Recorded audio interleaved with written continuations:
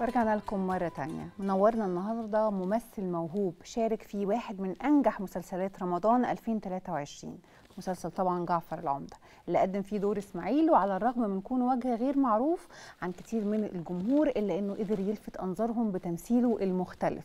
طب إيه الأعمال اللي قدمها قبل كده؟ وإيه كان تأثير مسلسل جعفر العمدة عليه وعلى مسيرته؟ ده اللي هنعرفه منه هو شخصيا النهاردة منورنا في الاستوديو الفنان عماد صفوت. صباح الورد عليك. صباح الورد.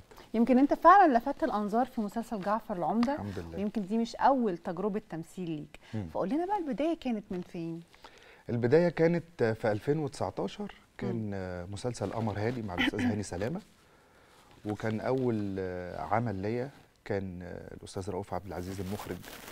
كان قعد بقاله سنتين هو صديق ليا فقعد يقول لي أنا عاوزك تشتغل معايا بس اعمل معايا مشهد واحد. فقلت له أوكي. فجي مسلسل قمر هادي ورحت اشتغلت معاه.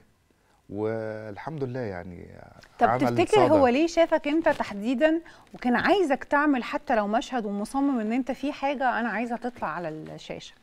آه هو دايما لأن هو وجهة نظره طلعت صائبة الحقيقة بالمناسبة. فأنا عايزة أعرف ليه يعني أقنعك بده إزاي؟ لأن أنت راجل برضو عندك شغل تاني وهنقول دلوقتي طبعا شغلك هو إيه. فراجل نوعية الشغل مختلفة تماما أو إلى حد كبير. فإزاي قدر يقنعك من هنا لهنا؟ هو بما إن إن أنا بشتغل في الفن بقالي حوالي أكتر من 16 17 سنة. في مجال الفن يعني عشان أنا صحفي في اليوم السابع وبالتالي بشتغل في قسم الفن. فأنا كل ال- الفن بشتغل فيه. وبالتالي أنا حابب الفكرة نفسها يعني حابب موضوع التمثيل.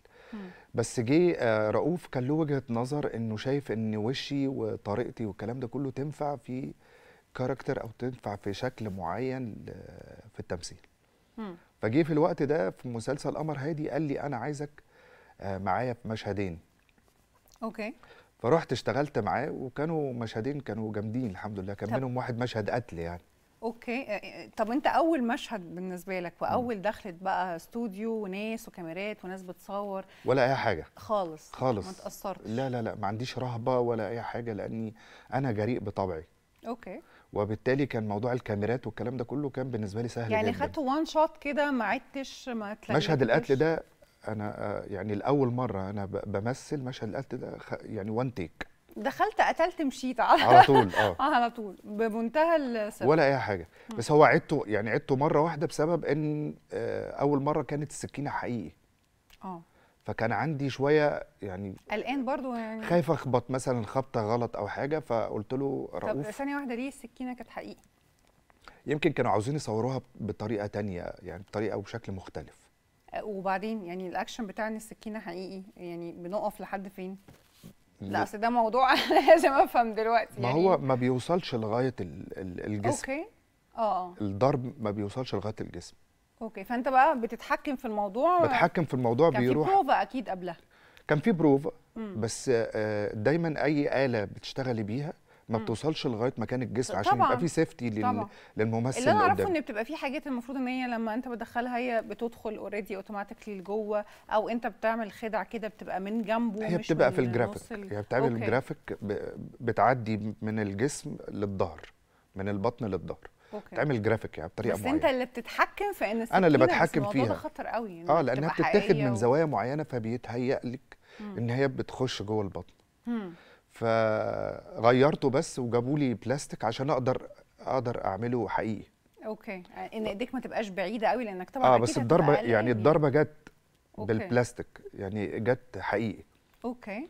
فدي كانت مختلفة.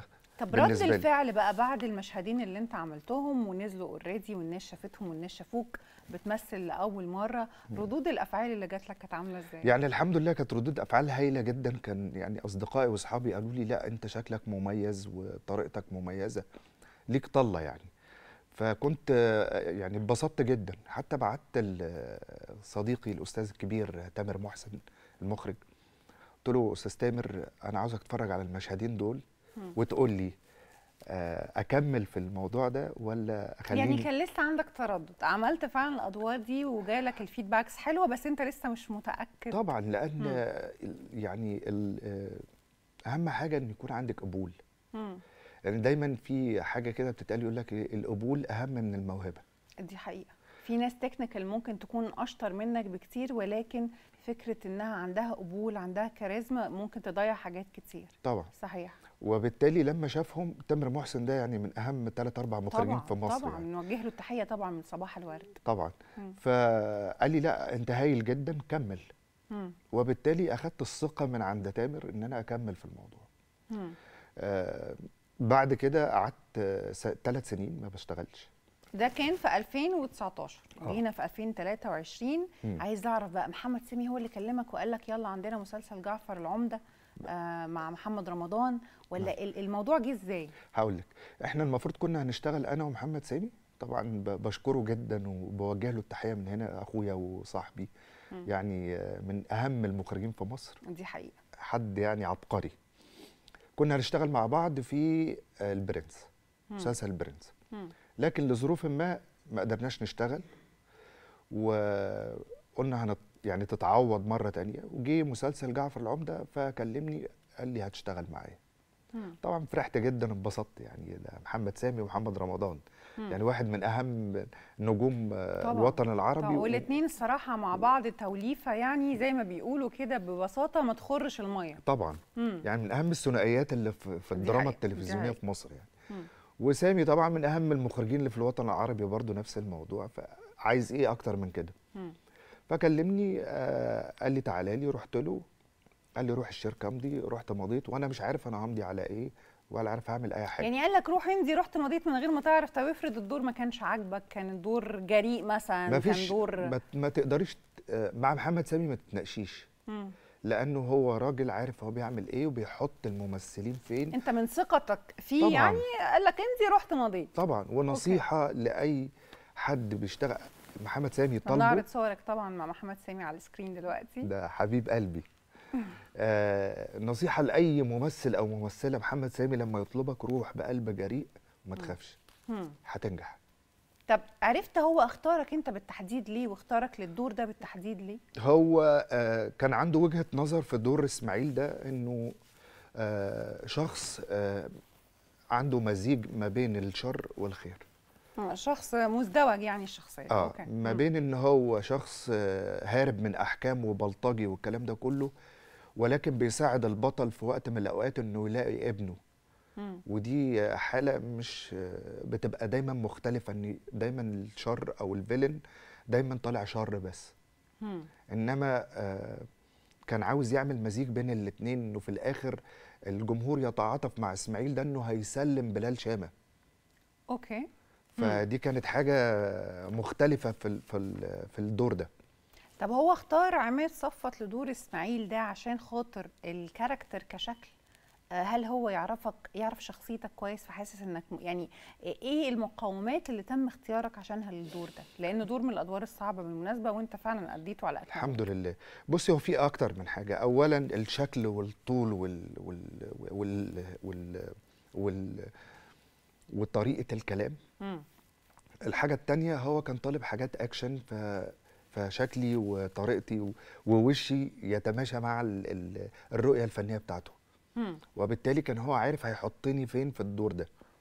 أوكي. طب قولي بقى المراحل. قال لك يلا يا عماد هتروح تمضي على الدور رحت ومضيت رحت وبعدين مضيت. قعدتوا إمتى اتفقتوا؟ شفت الشخصية بتتكلم عن إيه؟ رحت مضيت. بعد ما مضيت مم. كلمته قلت له أنا مضيت يا سامي. قال لي طب هيدوا لك الورق. أخدت الورق خدت بعضي ومشيت. قعدت أذاكر. مراتي طبعا الأستاذة دينا لويس قعدت تذاكر معايا. قعدنا آه، نذاكر وأعلم على الحاجات وعلى الدور كنتوا بتذاكروا إزاي؟ هي مثلا بتاخد الدور اللي قدامك وتعمل معاك بروفة على إن هي ال- الشخصية الثانية مثلا؟ آه نقعد نسمع لبعض يعني. كده. آه هي الأول قرت. وراء كل عظيم امرأة خلي طبعا بالك. طبعا okay. حبيبتي. okay. قعدت هي قرت الأول الدور كله. بالشخصية والكلام ده كله وبعد ابتدت تحكي لي فابتديت أنا أخزن. هي اللي قعدت قرت مش أنت مش آه، فاضي. في الأول. okay حتى دي لا كنت اللي كان لسه بدري على. التصوير. لا. حتى دي هي اللي هتعملها برضه تمام. كان لسه بدري على التصوير كان فاضل حوالي آه، آه، 28 يوم مم. أعتقد. فقعدت قرت بتتسلى يعني وابتدت تحكي لي إحنا هنعمل إيه والدور ماشي إزاي والكلام ده كله. okay. فأخدت ال- المعلومات قعدت أخزنها في دماغي وبعد كده بقى أخدت الورق آه، يوم ورا يوم قعدت بقى أقرأ وأذاكر وأعلم على حاجات. وهنا أحاول أضيف جملة يعني على الكلام. والعملية مشيت الحمد لله يعني. أوكي وكانت البروفات معاها بتهيألي هي اللي اديتك دفعة وأنت بتأدي آه هي كده هي على طول. بتشجعني هي دايما واقفة في ظهري يعني طب- فدي حاجة بالنسبة لي كانت حلوة جدا. طبعا. طب لو عايز توجه لها أي كلمة دلوقتي على الهوا الكاميرا معاك. يا ست الكل. بس كده؟ بعد ما قرت الدور كله حاجة. وعملت بروفات والست تعبت معايا. دي بنتي بس انت كل بس كده اقتصرنا في كلمة دي بنتي؟ دينا دي أنا اللي مربيها على إيدي. okay. طيب هنروح بقى لل vibes ما بين الشخصيات في الحقيقة ال characters يمكن إحنا برضو على ال social media شفنا آه، مواضيع كتيرة عن بعض الشخصيات بعض الخلافات ما بين الشخصيات الكلام ده كله. فإحنا معانا بقى رجل من قلب المعركة. فقول لنا بقى ال vibes كانت عاملة إزاي جوه المسلسل في الحقيقة خلال التصوير. الحقيقة إن هل كان الكواليس في خلافات زي ما إحنا شفنا وخلافات بين بعض النجمات جوه المسلسل وخلافات ولا دي rumors زي ما بتطلع دايما على الأعمال الناجحة بيبقى في شوية إشاعات كده وحاجات spicy يعني. لا لا لا خالص. بس عشان أكون أمين أنا ما اشتغلتش مع ال- الأربع ستات.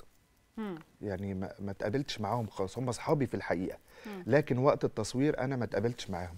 مم. بس أنا ككواليس أنا شفت الكواليس كانت حلوة جدا وكانت رائعة. مم. مع الكل يعني محمد رمضان طبعا أنا بوجه له التحية من برنامجك صباح الورد وإحنا كمان بنوجه له التحية آه محمد رمضان كان قاعد بيذاكر لي مم. يعني كان بي بيتناقش معايا في الحاجات و- وهتعمل دي إزاي والكلام ده كله هو وسامي مم. فكواليس لا كانت حلوة جدا أما موضوع ال- ال- الشائعات والحاجات اللي بتطلع كل مسلسل لا يخلو من الشائعات ولا يخلو من المشاكل. ولكن انت على أرض الواقع أصل الحاجات دي أنت عارف بتبقى زي كالنار في الهشيم في البلاتو في مم. الاستوديو فالناس كلها بتبقى عارفة مم. فأنت كنت موجود زي ما قلت في المكان وما الدنيا كانت لطيفة لا يعني. كانت لطيفة جدا يعني آه، كنت بقابل مي كساب مم. كنت بقابل إيمان العاصي بس الدور يعني ما فيش حاجة يعني ما شفتش حاجة بعيني طب جعفر العمدة ليه جزء تاني هل مم. أنت هتكون موجود في الجزء التاني على حسب الأحداث مم.